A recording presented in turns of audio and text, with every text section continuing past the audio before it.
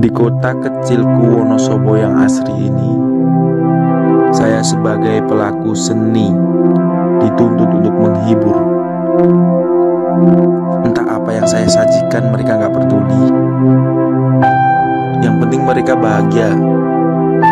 Mereka tidak tahu apa yang saya rasakan sebenarnya. Resah gundah mereka tidak peduli. Yang penting mereka terhibur. Tapi saya tetap optimis untuk selalu menghibur mereka. Dan entah siapa yang akan menghibur saya nantinya. Yang penting saya tetap berkarya. Dan bisa tertawa dengan mereka, sahabat-sahabatku semuanya.